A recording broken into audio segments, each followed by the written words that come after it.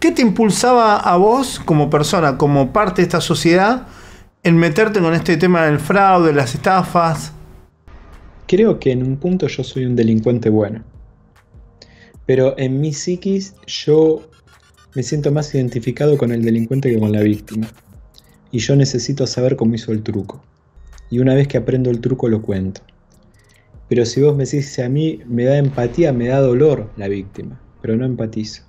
Ah, mirá. Yo me doy cuenta que yo soy un delincuente bueno. Entonces le pongo tanta pasión y tanta energía porque tengo que aprender el truco.